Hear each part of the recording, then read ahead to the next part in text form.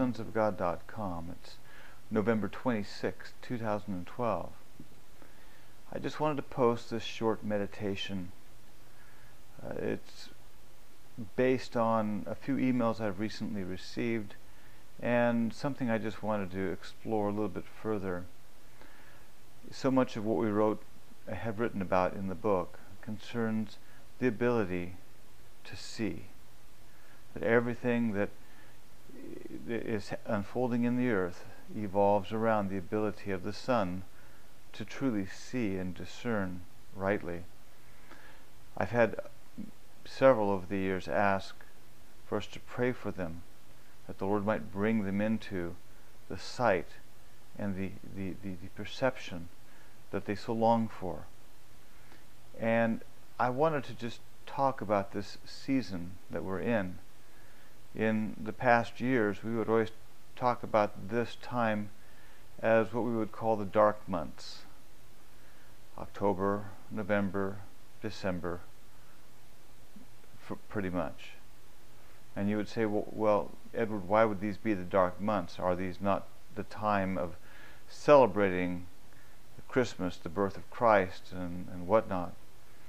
Well, to many of you who are true scholars of the Word, you know that the origin of Christmas, uh, the spirit behind Christmas, is anything but uh, godly, anything but uh, anointed and ordained of God. Uh, it has nothing to do with the birth of Christ or the timing of the birth of Christ. Um, and that is something that, um, if this is new teaching for you, you may want to uh, look more further into some of the writings. Alexander Hislop wrote a book, The Two Babylons, very insightful as far as what happened back in the days of the Roman Empire and the merging of paganism and Christianity at that time and what evolved out of it.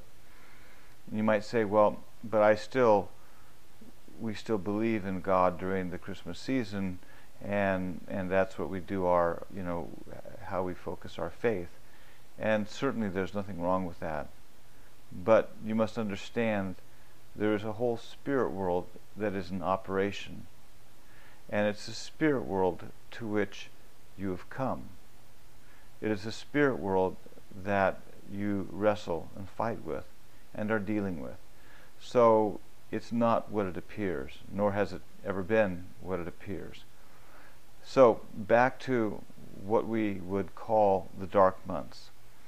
Uh, aside from, uh, as far as uh, um, Christmas or the spirit of Saturnalia, which is associated to the Christmas season, uh, or um, the uh, Halloween, the, the uh, what they call that all All Saints Hallowed or something to that nature. None of that in and of itself would constitute what we would concern ourselves with as the dark months. They are just times and seasons that are uh, uh, celebrated by mankind in mankind's unawareness of the truth and what truly is uh, uh unfolding in the spirit world. But what we find, of course, during this time it's a time of family gathering. It's a time of celebrating feasts. It's a time of Thanksgiving uh, at uh, November 25th in the United States. Um, so you find that it's a time families get together. Uh, perhaps they haven't seen themselves one another in, in many months or years, and so they get to they come together to share these holiday times. So the dark months evolve out of what I would call these times of gatherings uh, uh, relationships that um, sometimes are uh, brought back to light. So the point that I'm driving towards is not about the times and seasons of Christmas and All, Sal- All Hallows Eve. It's not about family gatherings, um, whatnot, but it's about understanding what bonds are. if you've read our book, then you'll know we've gone over that subject innumerable times. And yet, it is something that is at the crux of everything concerning the release of the sons. And it's something that we cannot take lightly and say, well, I understand. And, and then just figure you've done your due diligence. Because the truth of the function of bonds and relationship in a believer's life goes much, much deeper than what you see on the surface, what you might initially discern uh, in uh, familiar relationships that might uh, uh be a concern.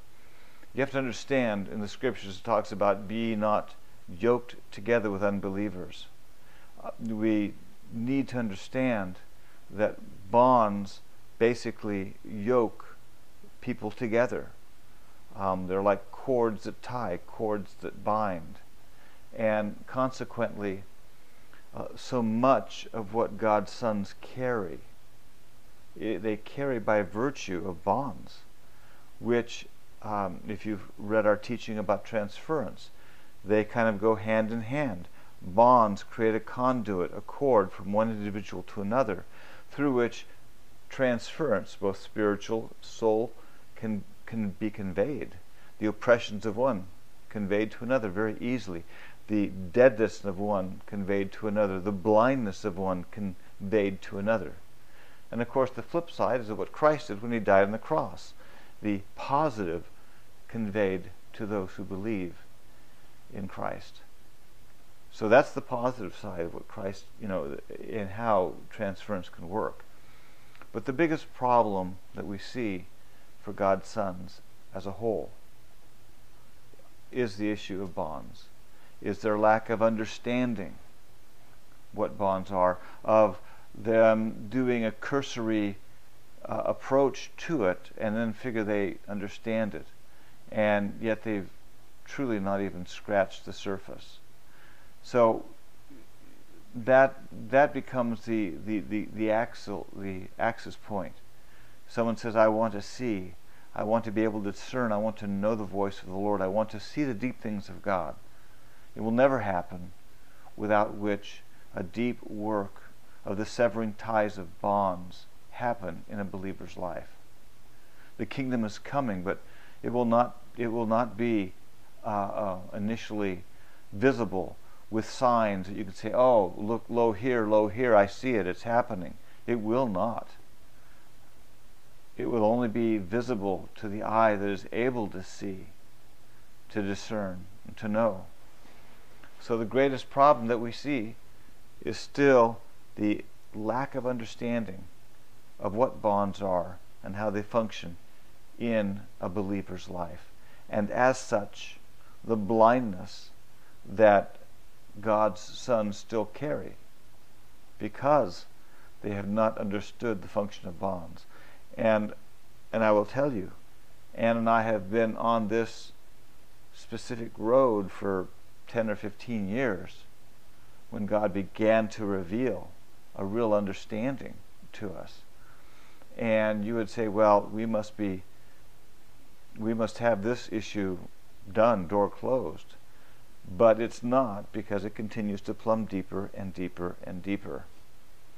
If there's anything in you that reacts to another, if there's any any button that anything can be pushed with respect to people you know, relationships, family, whatever, then you're you're you're you're bonded, you're connected, you're tied in. And as such, your ability to see the Lord is severely hampered. So going back to the dark months. We've called it that because we've watched it over the years, and it's been because of the associations of the call it family, friends, relatives, whatever.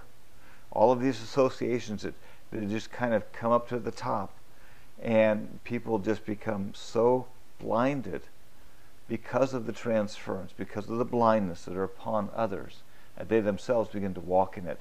And so consequently, yes, it's, it's, it, it is the dark months. And for those whom the Lord has not brought out of this, it still is the dark, uh, the dark months because of the role that bonds have in an individual's life.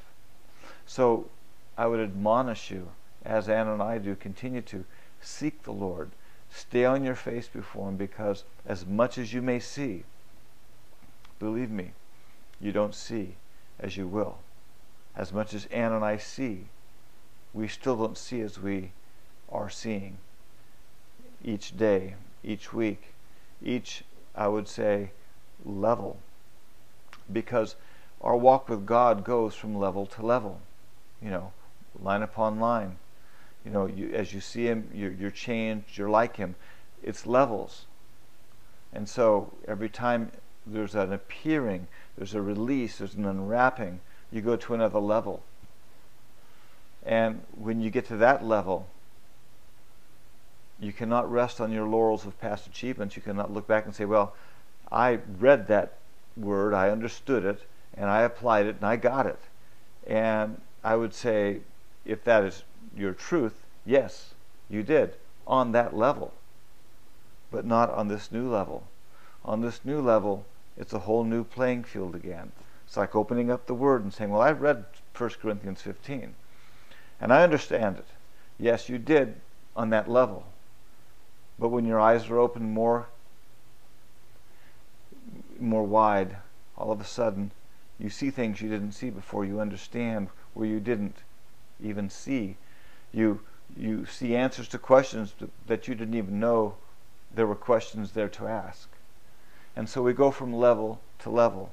And that's how the kingdom is manifesting. For you know, it talks about it in the book of Matthew. First, the the um, trying to think of how the, the goes, but it has to do with the harvesting. First, the seed, the, the sickle. Uh, I don't have the, the quote offhand, but the kingdom of God manifests by layers or uh, by um, levels, and that is uh, not uh, that is identical to how the kingdom is being revealed within us. It's through layer, level after level after level. It's the same thing.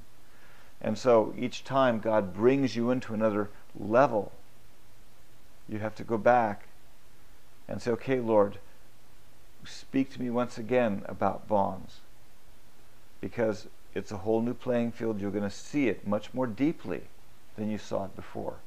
And I can only tell you this because this is the path we have walked over the past specific 12 to 13 years when God removed us from religion, from churching, from churches, from pastoring, began to reveal himself in us on a much deeper plane. And so it's been level after level after level after level. And you would say, well, Edward, don't you, you truly understand the bonds? You truly are walking free from it. And I would say, to a great degree, we are.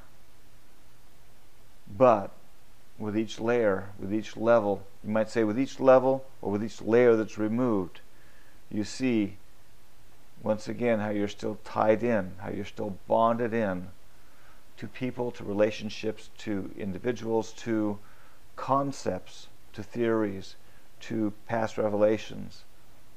And you have to throw it off again. You have to come up higher. That's the path of sight. And of course, mixed in this bowl are the dealings of God and the fire. God has you in, in the frying pan.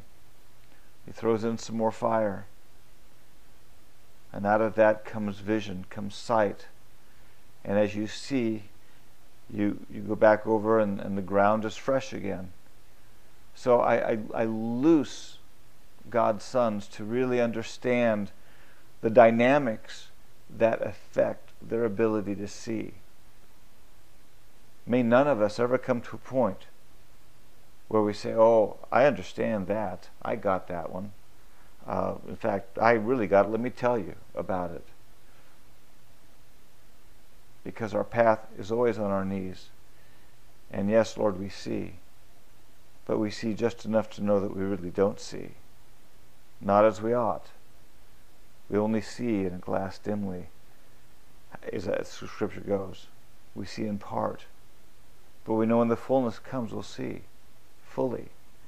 We're not quite there yet. We're still in the part phase. But it's part, part, part, line upon line upon line upon. So I loose you in this pursuit to see, to hear, to know, to understand, to get a hold of the bonds, a revelation of what they are, of how all of this functions, that you might walk and be free. In Jesus' name.